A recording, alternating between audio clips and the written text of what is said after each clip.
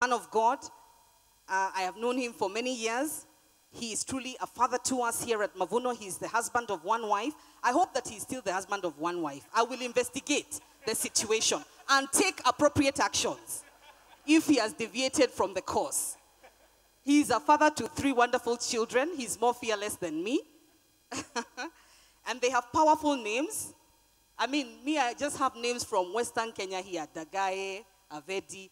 This man has children called Covenant. if you have been giving your children Hohehahe names, okay, you need to stop and seek advice from this couple. So, Covenant was the first one. They didn't think that was enough. Then they named the second one Promise. Hey! And the third one they named Baraka. So, if you are expecting to expect a baby, think about seeing these people. He is the founder and CEO of Transform Nations. He's the author of several books, including Ombi, which is our prayer manual, our prayer experience here at Mavuno. This man, I envy him and aspire. He has traveled the world sharing the gospel. And in this very city of Nairobi, he's the leading voice on the topic of real men. Mavuno, would you rise to your feet and help me welcome to the stage my friend, our pastor, Pastor Simon. Pastor Simon, the man, Bevi. Praise the Lord. Praise the Lord. thank you, Pastor S. Can we pray for you, our pastor? We love you. We appreciate you. Father, we thank you. We give you the glory for joy and fun times and laughter in the house of the Lord. And we thank you that we have the opportunity to reflect on your word. As we have come here, we have many situations in our lives. And we are asking you to speak to us authoritatively, speak to us personally, speak to us pastorally. Father, our nation needs men. And so we pray that the anointing of the Holy Spirit would rest on your servant and that the word of God will come to us with authority and power to challenge and to change our lives. We surrender to you and we pray your blessing upon Pastor Simon. We pray these things in Jesus' mighty name, and God's people said, Amen. God bless you. God bless you, Pastor S. Thank you. Come on, let's give it up for the woman of God. Pastor Linda, I have missed you. And good to see you. How you all doing? Come on, how are you all doing? Look at your neighbor and tell them Happy New Month. I'm glad to be here and to see all of you. And for some of you have been new to this place, then you may not know my queen. So let me ask my queen to stand and show off. Right. Um, this morning she asked me, How do I look, honey? I said, Before I answer how you look, who paid for that dress? uh, so let me tell you publicly, you look awesome. You look great. Uh, well, that's not for you, so don't clap. Uh, it's a private affair. I'm glad to be here and to be sharing with you. As you've been told, uh, I've been a proud member of Mavuno. I've been traveling a little bit here and there, so I've not been with you for a while. But God has been good, uh, very good. In the different places where I've gone, I've seen the work of the Lord in the different nations, but also within our country.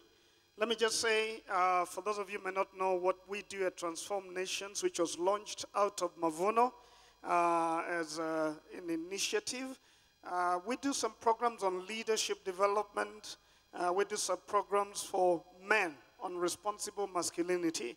We do Shujadad, we do Man Enough. How many of you have done Man Enough? Let me hear Ahu. Yeah. Uh, those are real men. They have been trained about the five P's and the definition of a man and things like that. But we have that program called Man Enough. And some of you are doing it currently.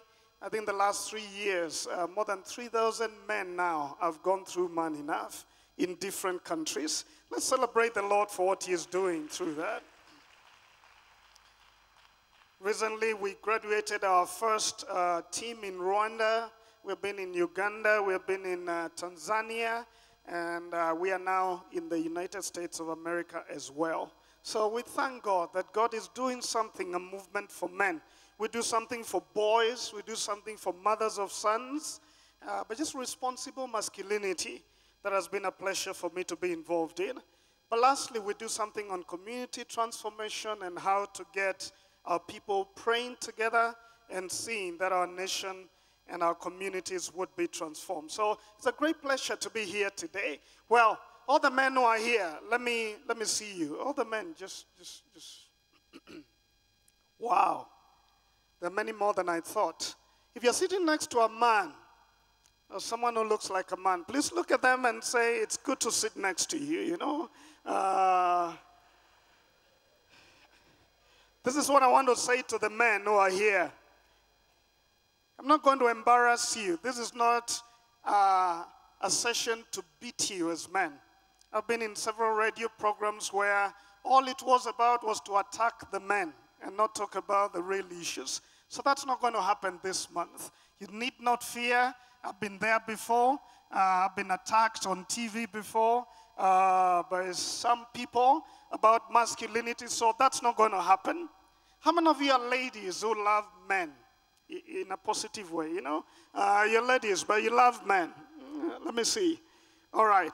This is also going to be about you because we're, we're going to be talking about the men you want to get married to, the men you're married to, and we're going to talk about the man next door. And we're going to talk about masculinity in general. So I'm really excited about this. Let me ask this the ladies Do extraordinary men exist? Be careful what you say, especially if you're sitting next to a prospect uh, or your husband uh, or some other man. Do extraordinary men exist?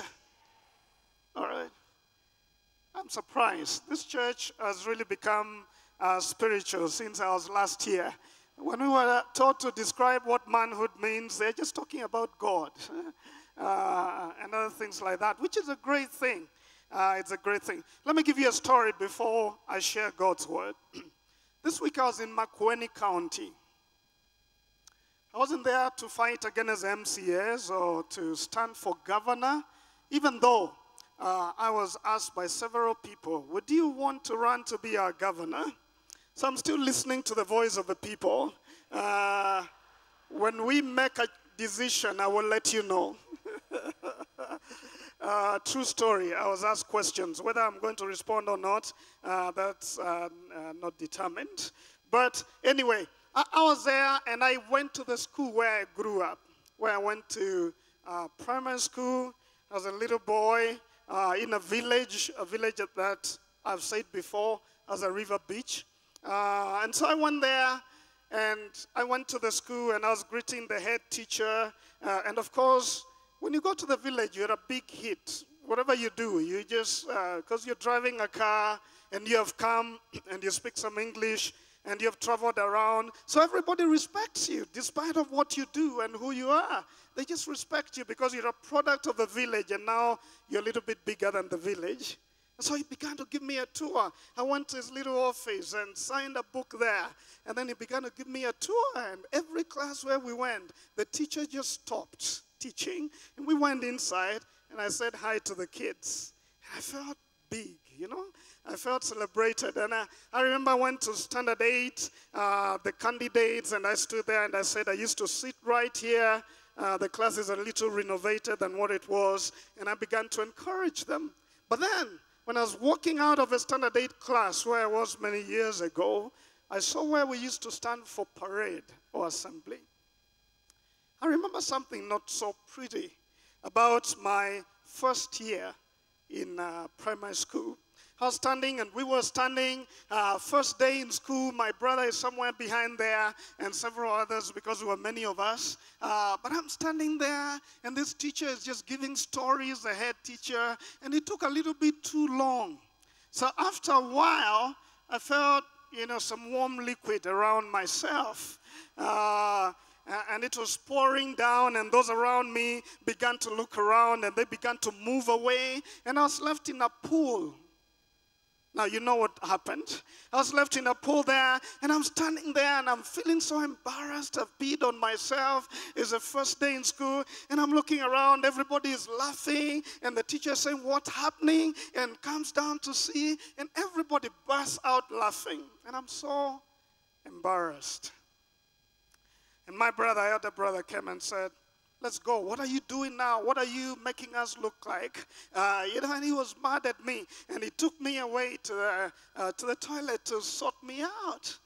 But I remember when I came back to assembly because it was still going on, and then went back to class. I didn't want to talk to nobody. I was so embarrassed. That picture is still so real in my life. Why am I using it? I'm using it to tell you this. Until today, once in a while, when I do something silly or stupid or make some choices that I shouldn't make, I feel embarrassed. And I remember that time. And in my journey of manhood, so that you know who is talking to you is not perfect, in my journey of manhood, I've messed up sometimes. I've done some things I shouldn't have done. I've said some things to my wife once in a while that I regretted later. Why did I say it that way? I'm not a perfect man. I get surprised sometimes when I'm invited to talk shows and I'm told you're the expert of men because you write about it and you train men. And I say, I may know a little bit more about men than many people after working with 3,000 men from different continents. You may know a few things, but I still have my struggles. I still want God to help me. I still have a dream to be a man of God's dream. And sometimes it doesn't happen as well and as pretty as I want it to happen. So, as I talk to you this month, I'm not telling you out of my own life script because I am not the standard unit, but the Bible is. So, from the Bible, we're going to learn what it means to be a real man, an extraordinary man. So, I'm excited to be able to do this. All right, are you still there? Men, are you still there? The battle of the sexes, the two gender, has been there ever since the very beginning. In fact, many times when I get to talk a lot with men and then with women, it's like a battle. Some of you have watched Mentality, a program we've been doing with Ian Bugwa and Edward Quach, and it's a fight. When a lady comes in, usually it's us again as a lady, and it's uh, the women again as a man. And, let me tell you what men think. A lot of times, men think that women are just too complicated, right? Men? They're just too complicated. They cry when they shouldn't be crying. They say there's nothing when you ask them what's wrong, and there's a lot. You know, they say the opposite. Uh, they take too long to leave home. This man is saying yes, and he's sitting next to a woman. Uh, so I'm, I'm, sure he understands what he's saying. Uh, and they're too emotional. I've had many men say, I don't know how to deal with my woman. She just gets to cry over very little things and they express a lot of emotion and many men don't know what to do with that. So men think women are too complicated. Women think. Men never get it. They're too simple that it's complicated. Right women? All right. Those are the ones who are not married who are saying it. You know something men are just clueless emotionally uh, and and, and I, I, believe there's some truth in that, in that. Not clueless, but we take a little bit longer just to grow in emotions. Sometimes I'm not even sure what I'm feeling. I have to ask my wife, What do you think I'm feeling? I'm feeling like this and that. How do you explain that? What is it in emotions? So that I know what I'm feeling. Well, Many uh, women think men are just proud. It's just all about them. In fact, uh, when they are quarreling or attacking you because of something you did, it's really just about their ego. There's nothing more. It's about them. It's all about them. Culture is about them. It's, it's about them. Well, the gender discussion is foundational to human existence. It's more than political, it's more than social, it's more than economic, it's more than religious, it's both spiritual and theological. Spiritual and theological.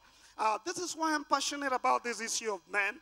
The glory of God is reflected in human femininity and human masculinity. That means the gender issue has at stake the very glory of God where did I get that from? Genesis 1:27. So God created man in his own image. In the image of God, he created him male and female. He created them. In other words, man at its best is reflecting a certain image of God. That's why it's so uh, attractive when you see a real man. Very attractive. It points you to God, the Almighty God who created man. The same with femininity. I've seen some flashes of great femininity in my wife. I've seen her express, you know, that glorified femininity that God put inside of her. Uh, that sin came to mess up. And when I see that, I say, wow, wow, that's God. That's the nature of God locked up in the heart of this woman that now I call my wife. There's such glory. That's why the battle of the days has been to destroy the gender issue. Women have been oppressed for many years, hence fem, uh, feminism. They, they came up to begin to talk about the woman who was oppressed and put down by culture. Now it's taken another turn. So if you ask me on social media whether I'm a feminist, I'll probably think twice before I respond because it's a little different. I think you saw what has been going on in international social media about that topic. But when you see a man as well attacked by the devil, put down, chained, fearful, you see the devil who doesn't like God is destroying masculinity as a way of getting back at God. This month, we're going to be talking. I wanted to lay that foundation. We're going to be calling men to their best. I'm going to give you four titles of a great man, the extraordinary man all of us dream about. We're going to be talking about that. But the unmarried women who are here, I want to ask you to begin to pray about this kind of a man. The parents who are here, who have daughters like myself, one is turning 13 uh, next month. I am praying about the husband. And I'm praying for a husband who is put together, who understands what it means to be a real man. I'm praying about that. And that's why we are here uh, talking about this.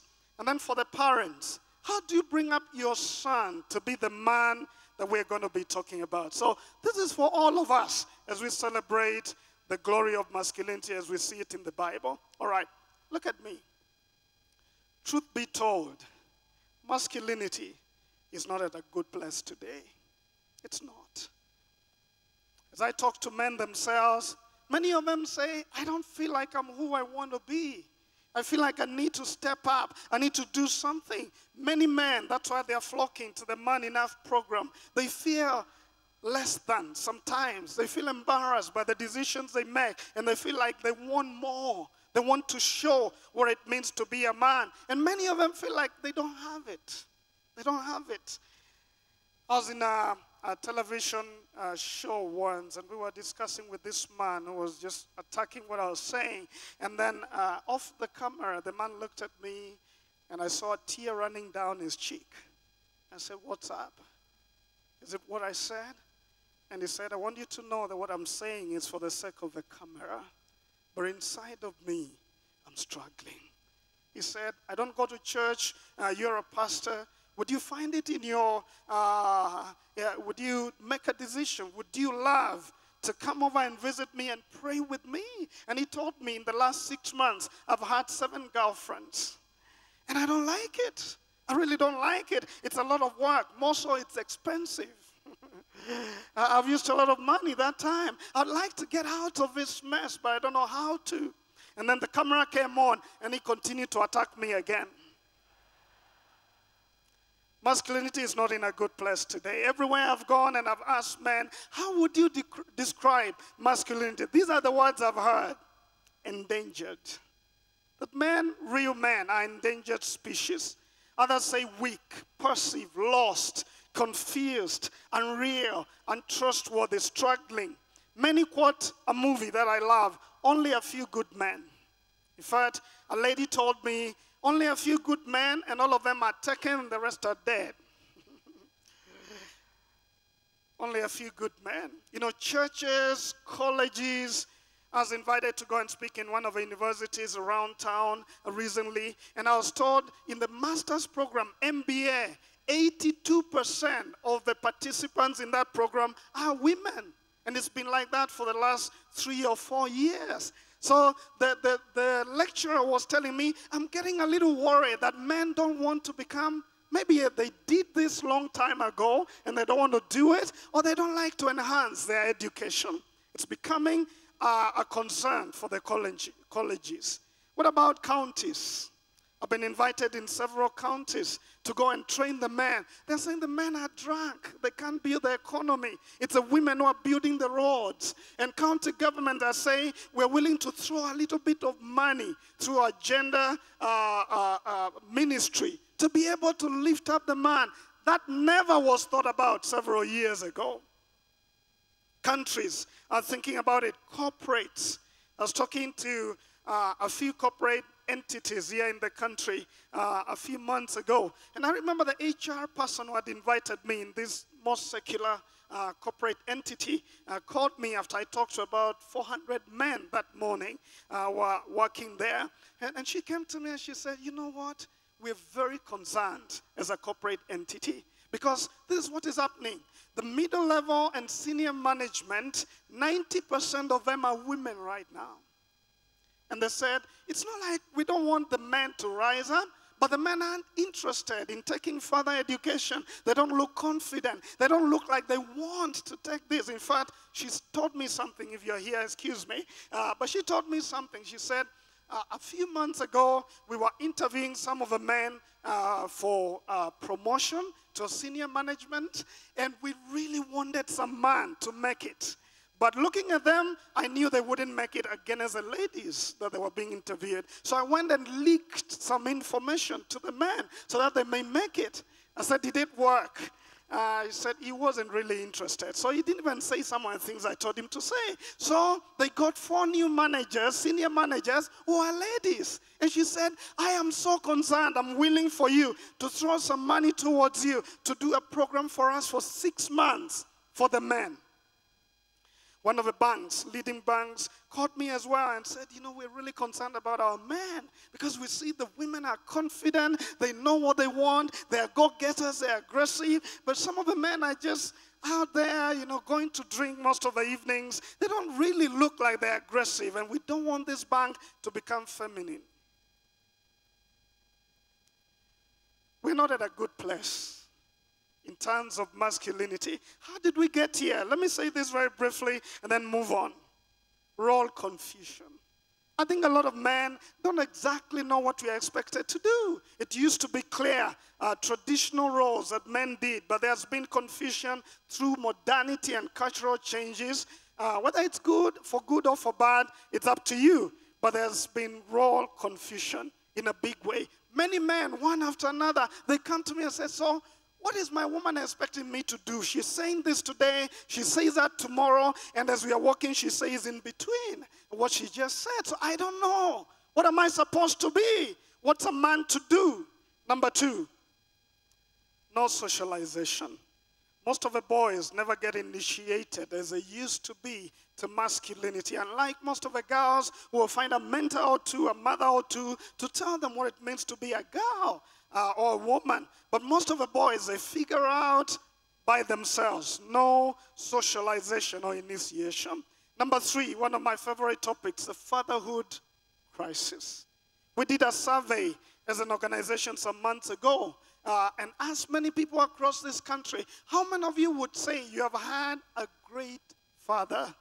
Out of those we interviewed, only 12% of Kenyans said they think they have a great father.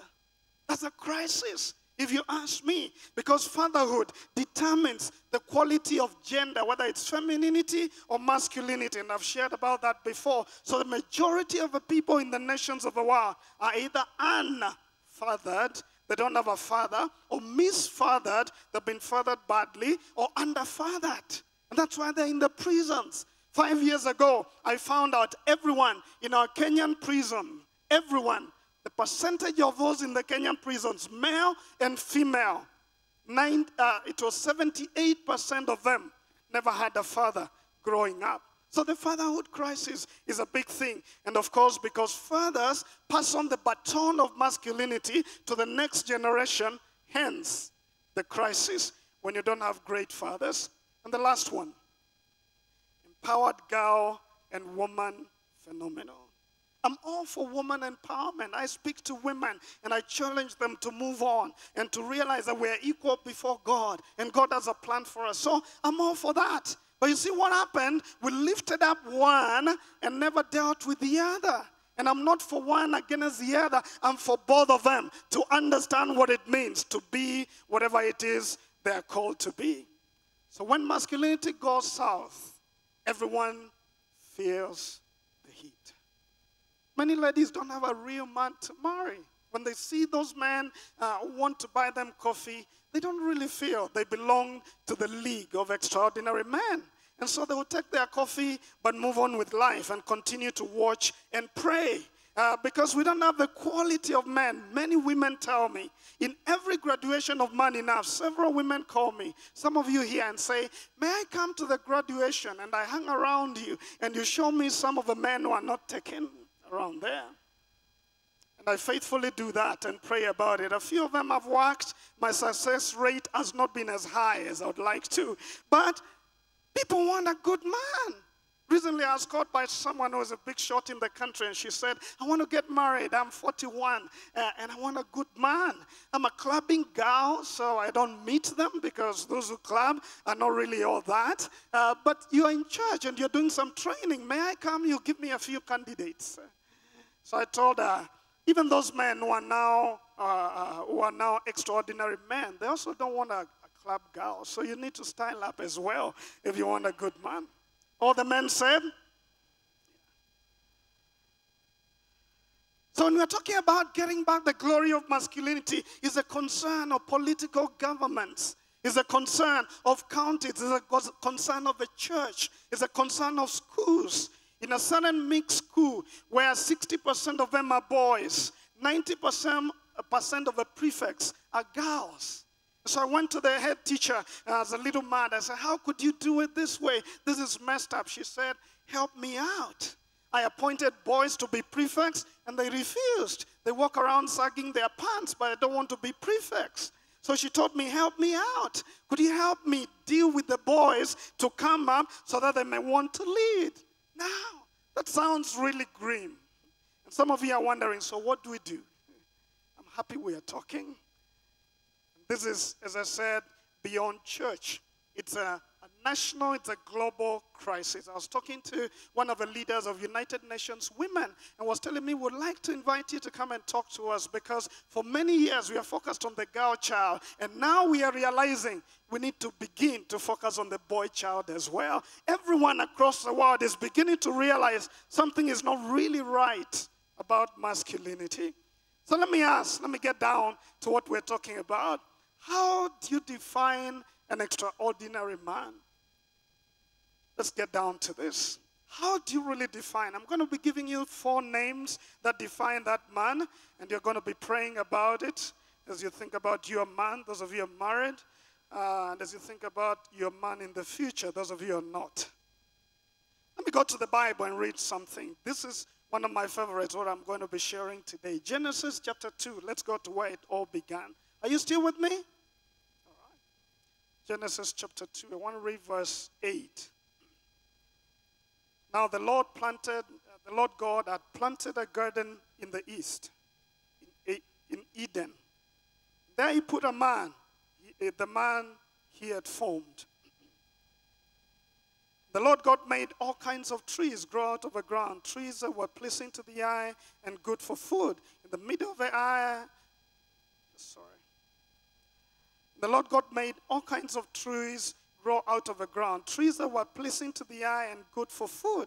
In the middle of the garden were the tree of life and the tree of the knowledge of good and evil. A river watering uh, the garden flowed out of Eden. From there, it was separated into the four headwaters. The name of the first is Pishon. Uh, it winds through the entire land of Havilah, where there is gold. The gold of that land is good, aromatic, uh, resin, and onyx are also there. The name of a second river is Gihon. It winds through the entire land of Cush. The name of a third river is Tigris. It runs along the east of Ashur. And the fourth river is the Euphrates. Verse 15. Let's read this together. One to go. The Lord God took the man and put him in the garden of Eden to work it and to take care of it. And the Lord God commanded, let me read the rest. commanded the man, You're free to eat from any tree in the garden, but you must not eat from the tree of the knowledge of good and evil, for when you eat of it, you will surely die. Let's pray together. Lord, we thank you because you love man. Lord, you love masculinity. You created it. You want to show it off to the world because it shows the glory of yours. And we want to pray as we talk today that He will speak to us as man and then speak to us as the rest of the community around man. We pray that your power will be here. We pray for conviction. We pray for strength to share your word. In Jesus' name we prayed. Amen. The man was blessed in the garden. Look at me. The man was blessed in the garden. There was a territory and there were resources there. Talked about rivers, talks about trees, talks about fruit trees. Uh, you know, so he was meant to be a steward, a manager in that place, a territory. In verse 15, he was told, take care of it, cultivate it, add value to it. And then he was told, secure it. Make sure it's secure, it's in order. There's order in the place. When I look at that, I see man was meant and called to be in church, to take responsibility, to be a leader of his territory. In other words, in the chest of every man is some blood saying, I'm a king. I'm a king. That is why respect is such a biggie for man. You know, every time I've talked to men uh, in the counseling table, and we are talking to men who uh, are married and their wives are there, I've never had a man say, This woman sitting next to me here doesn't love me. Always they say, This woman sitting next to me doesn't respect me. Because for men, love is spelled respect. And it's not, some, it's not just about their ego. It's something about their assignment in life. They were created and given a garden, and they were taught, be in charge of it. And eventually the woman came, and they were taught, make sure this place is a good place. Build a kingdom that those who belong to it will be proud that you are their king. That's why we love power. That's why we love leadership and influence and success. How we use it is a matter of inquiry today. But men love to be in charge of an economy, to be a leader, uh, to have some vision. They love it. It's like in their DNA. That's why when men don't lead, they feel something about it. They don't feel good about it because they were born to do it. And all the men said, what is the function of a king? Uh, I'm not talking about a man just walking around and demanding food and saying, you know, I'm the king of this home. Now, if you're the king of the castle, then behave like one. You don't need to say it. Everyone will know that you're the king because a king has certain behaviors, which is what I want to talk about. Number one, leadership. You see that throne at the back there? That throne is not to rest. That throne is not to sleep. That throne is not just to go there and hang out there. No, every time you see a throne, there's a responsibility on it that men sit on a throne in leadership to be able to lead. Recently, I was, um, I was privileged about three weeks ago to be sitting in one of the most um, uh, liberal counties in the U.S., Boulder, Colorado. And we were talking with this man. I just come out, out of a retreat of 450 men, and we came and sat together and said, let's discuss the state of masculinity in the nations of the world. There was someone from Afghanistan, uh, there was someone from uh, the US, there was someone from Mexico, and I was there from Africa, and a few other leaders. And we began to say, what is the one thing we see with the men that we work with all over the world? After four hours of discussion and a lunch after that, we came to this conclusion greatest challenge of masculinity is lack of initiative, lack of leadership. The guy from Mexico was saying, This man, most of them don't take initiative, don't lead. So, what happens when the women complain? Then they shoot them, or violence happens, or something happens. The same with the guy from Afghanistan. He says, uh, Children belong to the women. The men are never there. They never take responsibility. They take a gun and some opium, opium and go to the bush. They're never really responsible for their children. And of course, I had some things to say as well, which I don't need to say. But taking initiative seems to be the greatest global challenge of masculinity. What does that mean? Passivity. being tentative, indecisive, soft. You see, I have come to see from the Bible the silence and inaction of Adam is a curse of masculinity. When Adam was there and he was given a charge over his territory, and then an invasion came, the serpent came, and Adam did nothing, said nothing, never acted. That's what brought us to the problem where we are at. And man, as I talk to you today, I have been there many times. There are times I knew I needed to do something for a marriage, and I sat there, froze, almost not moving. And I know I need to move, and I struggle about it. I say, God, deliver me from this. Inaction, lack of initiative.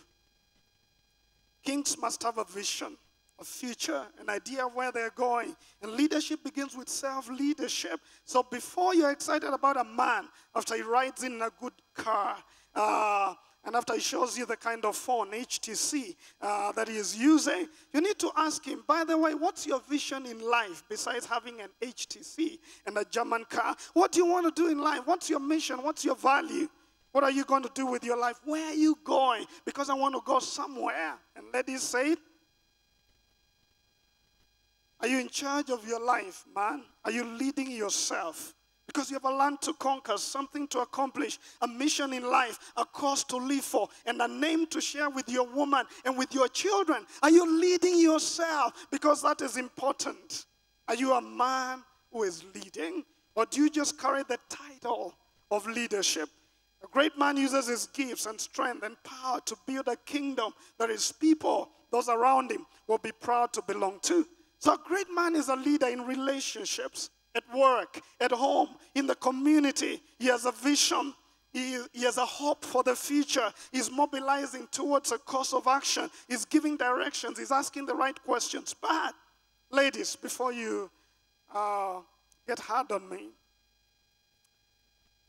let me ask you what is leadership? Because I've had this discussion with many women, including feminists, uh, and we have discussed is a man called to lead naturally or is it a cultural construction?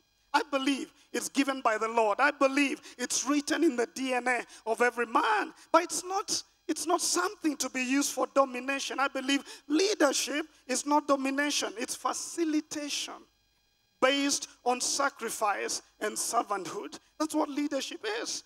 Matthew 20, 25 to 28. You know that the rulers of the Gentiles lord it over them, and their great men exercise authority over them. It is not so among you.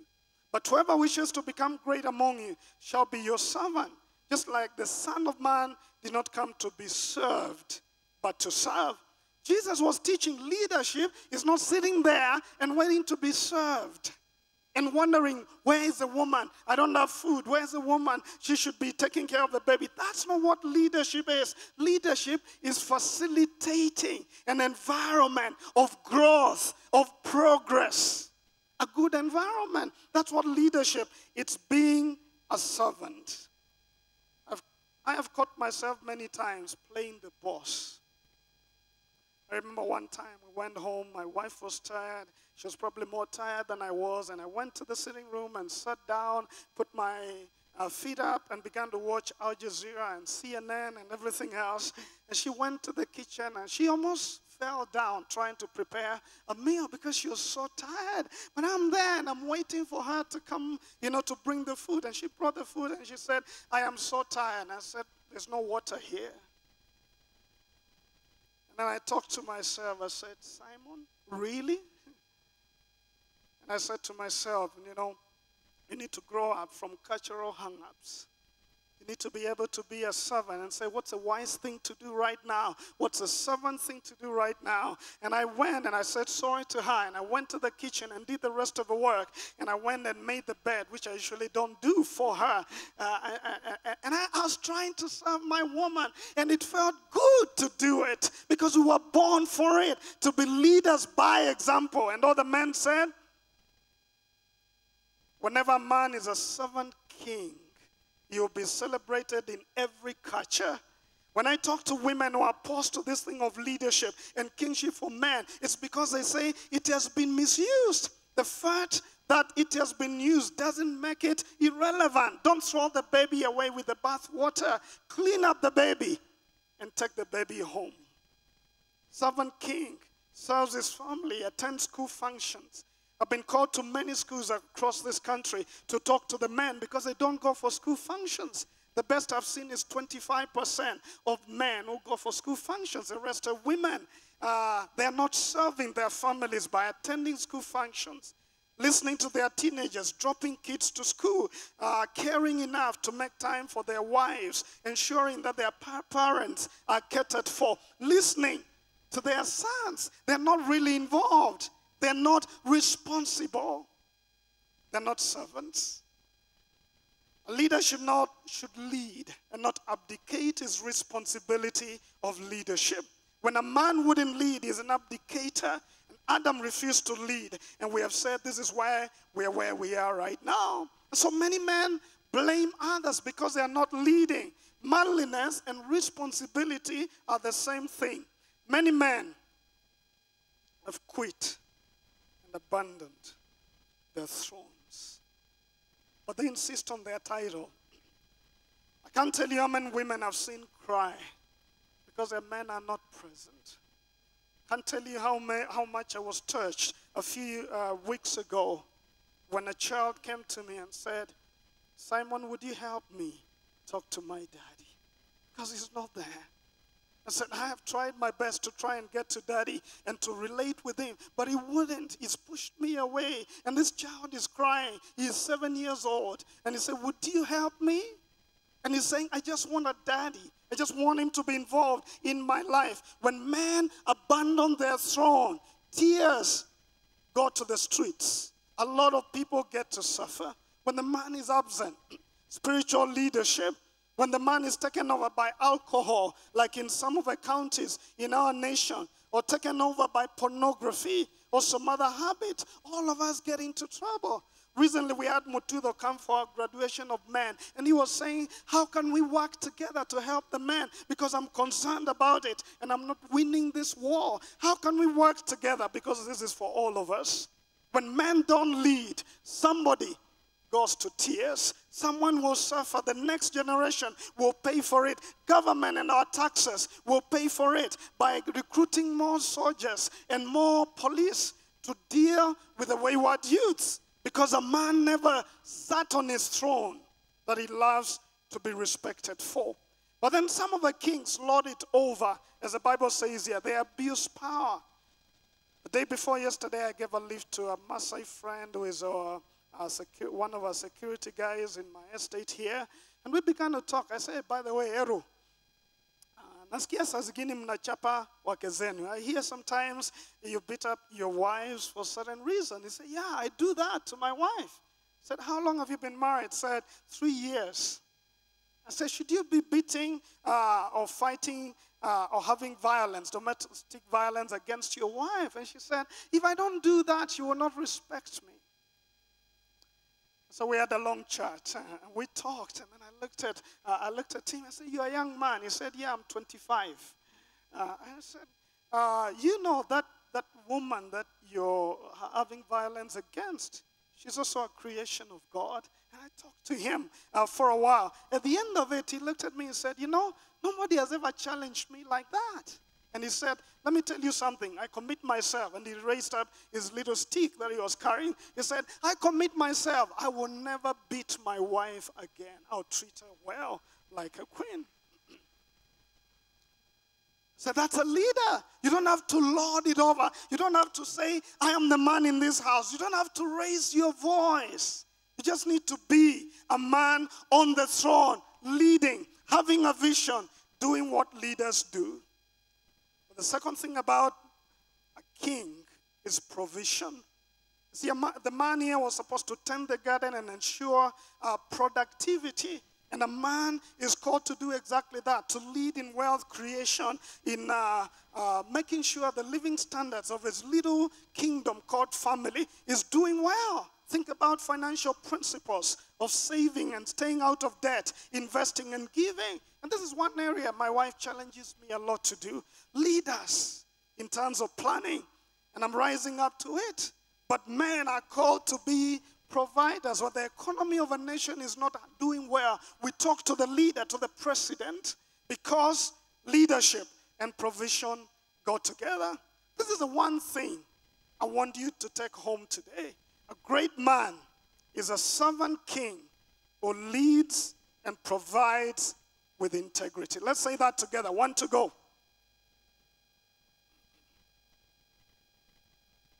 The men, let's say it together with our bass. One to go. Leads and provides with integrity. Now, provision. It doesn't mean that women need to be gold diggers. But they need to look at you and say, Do you have the money? Then you can make a good husband. No, provision is more than that. It's about a vision of a future. Yes, you may have a good car, a good phone, but that doesn't make you a great man.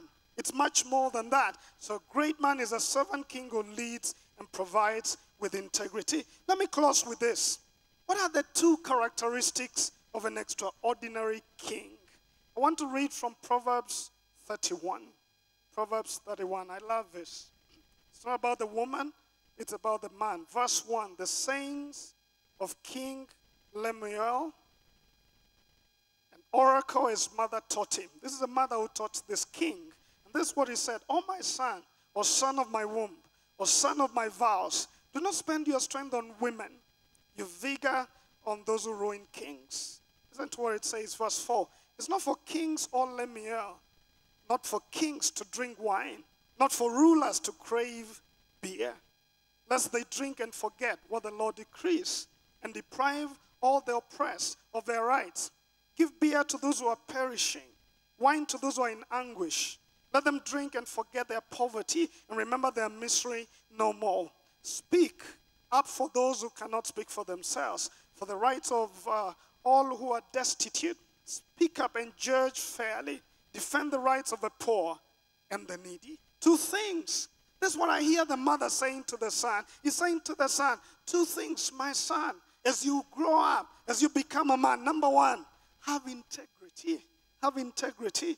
Think about moral integrity. Think about financial integrity. Think about relational integrity. He tells him, you know, don't intoxicate yourself with wine. Let that not be what you do as a king because you're going to have a hangover and you will not make the right decisions about your relationship and about moral choices and many other things. And he said, whatever you do, don't be taken over by lack of integrity. So have integrity. Number two, I hear him saying, be selfless, speak for the poor. Preserve yourself so that you may be able to help those who need to be lifted. Be selfless. Two characteristics. A great man is a servant king who leads and provides with integrity. Kings should be men of integrity. And this is very personal to me. Every king vows to lead using a constitution.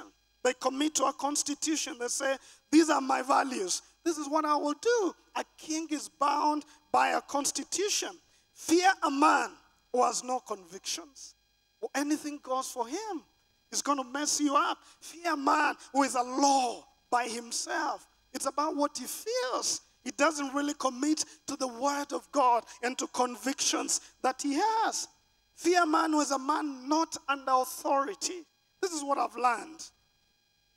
Every time I bow the knee as a king to the King of Kings and I submit myself to him, then I become a great king. A great king is a man who bows the knee to the real King of Kings and invites him to be his leader. He's a man of God. Let me say that again. He is a man of God. A man who doesn't fear God. He could do anything. He could do anything.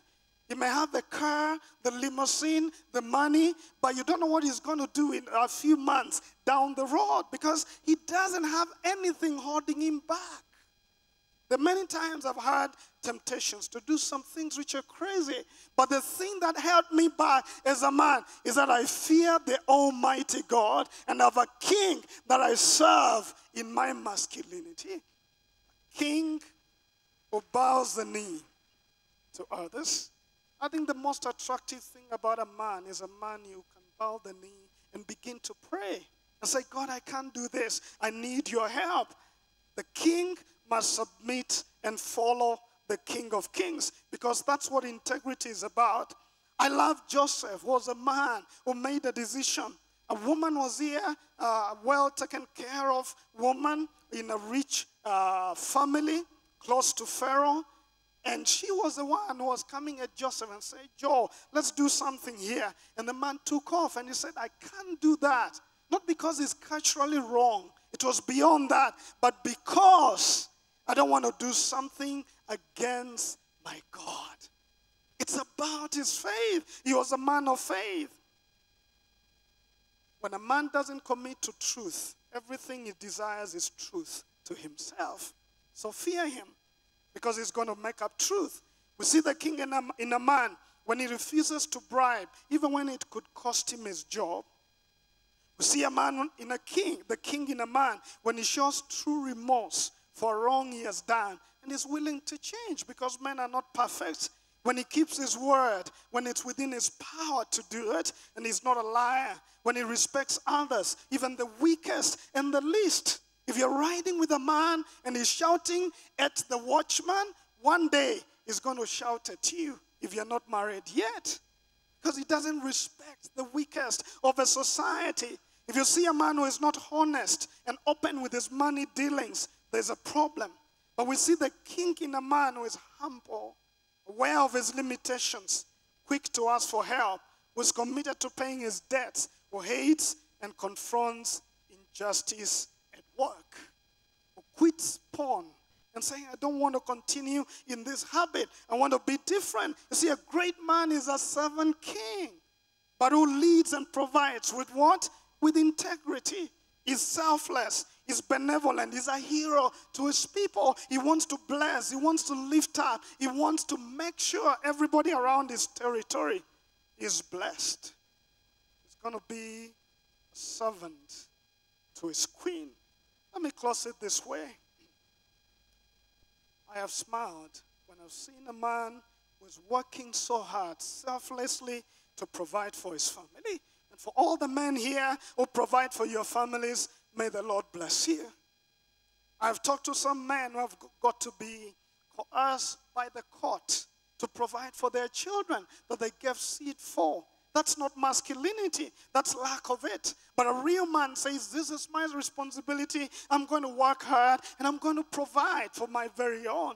I have seen the beauty and glory of masculinity when I've seen a man empower a poor person and say you're a watchman, but I want to give you some education and help you out so that you don't have to do this forever. I have seen the glory of masculinity when I've seen a man get home early, go to work, and then rush back to go and help his challenged child in one way or another. A man who is saying, I want to make time for my wife. So I'm not going to go and work far away from home as much as it depends on me because I value my family. That's a real man. I've seen a real man who is willing to come and serve in church and give up some of his wealth towards the ministry of the gospel and realize that he wants to be selfless in promoting the kingdom of the King of Kings. That's a great man to me. A great man is a servant king who leads and provides with integrity.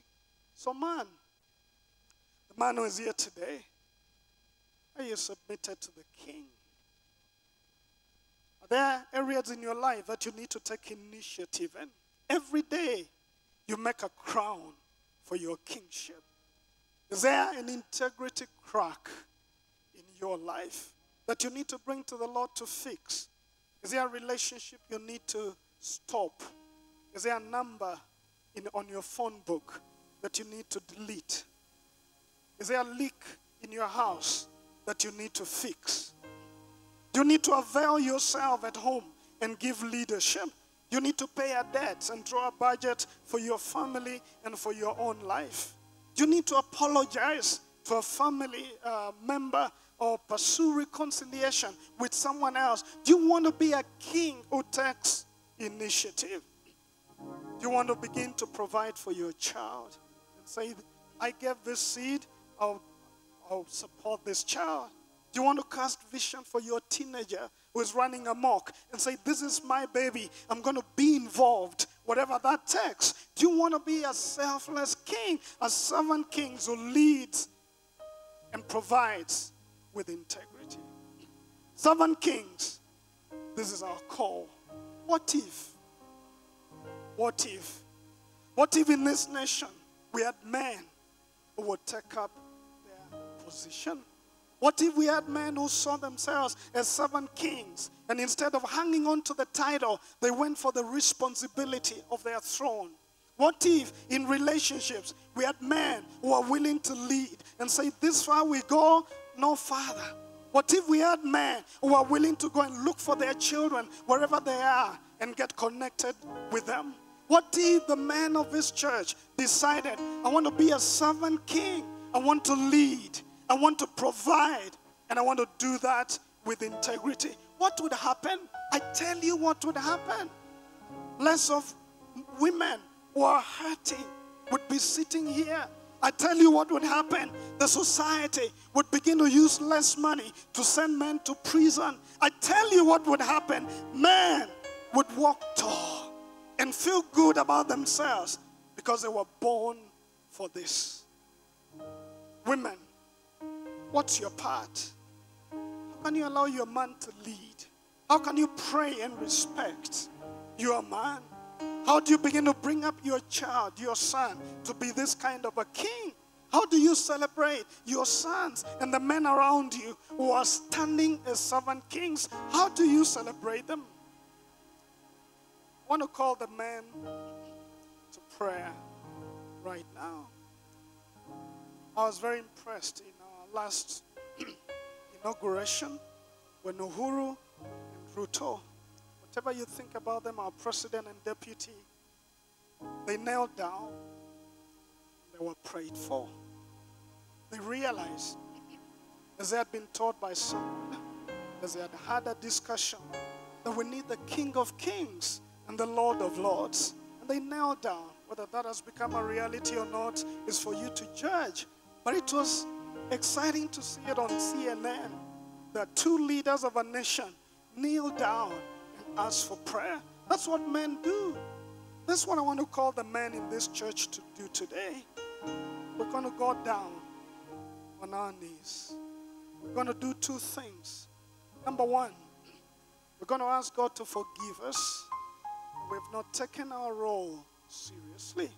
That someone somewhere is hurting because we either didn't play ball and lead and provide with integrity, or because we did it in a wrong way and we had someone. There's there are many women right here, in here, who have been wounded by men who wouldn't become servant kings. So we're going to go down, starting with myself. I have a lot to confess and say, God, forgive me. Forgive me for being a child on a throne. But sometimes I've done childish things and I want to grow up to be a leader. So I'll start with myself. But secondly, we're going to tell God,